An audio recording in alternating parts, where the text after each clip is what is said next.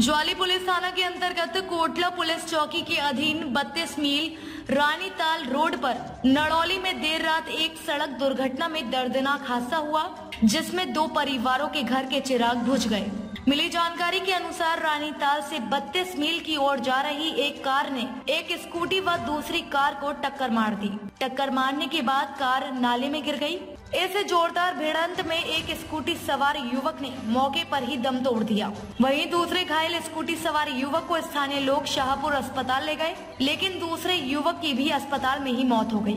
मृतकों की पहचान अनिल कुमार 26 वर्षीय व मोहित कुमार 21 वर्षीय निवासी रैत के रूप में हुई है। यह दोनों युवक आपस में, चाचा ताया के लड़के हैं। जानकारी के मुताबिक दोनों युवक नड़ौली में एक कार्यक्रम में आए हुए थे और दुकान से सामान लेने जा रहे थे कि वापस में एक विपरीत दिशा से आती कार ने जोरदार टक्कर मार दी, जिसमें एक युवक की मौके पर ही मौत हो गई। वहीं दूसरा युवक गंभीर हालत में शाहपुर अस्पताल पहुँचाया गया, लेकिन युवक घाव सहन न कर सका और उसकी अस्पताल में मृत्यु हो गई।